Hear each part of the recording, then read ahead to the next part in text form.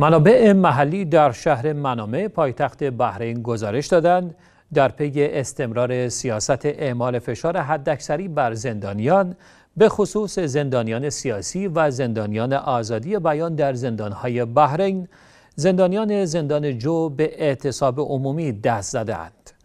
بر اساس اطلاعات دریافتی خبرنگار خبرگزاری اخبار شیعه مرکز اصلی اعتصاب در ساختمان شماره هفت زندان جوست و علت اصلی آن تعدی ماموران امنیتی و زندانبانان به علما و روحانیون شیعه بوده است.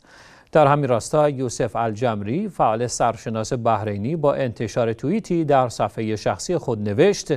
زندانیان سیاسی ساختمان شماره هفت زندان جو با دست زدن به اعتصاب عمومی که بعد از تعدی ماموران امنیتی و زندانبانان به علما و روحانیون شیعه صورت گرفت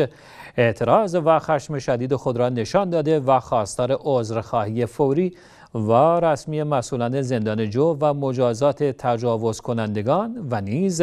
تعهد به عدم تکرار چنین اتفاقاتی شدند. در همین حال منابع حقوقی بحرینی ضمن تایید این خبر اعلام کردند که مسئولان زندان دست به مجازات دست جمعی زندانیان می‌زنند. آنها همچنین زندانیان را از تماس با خانواده هایشان محروم می کند در حالی که این حق قانونی هر زندانی است. آنها همچنین زندانیان را به مدت 24 ساعت در سلول ها حبس کرده و حتی اجازه خروج در فضای آزاد زندان را هم نمی دهند. این منابع حقوقی افزودند توهین و بدرفتاری با زندانیان سیاسی و زندانیان آزادی بیان در بحرین به امری عادی تبدیل شده است.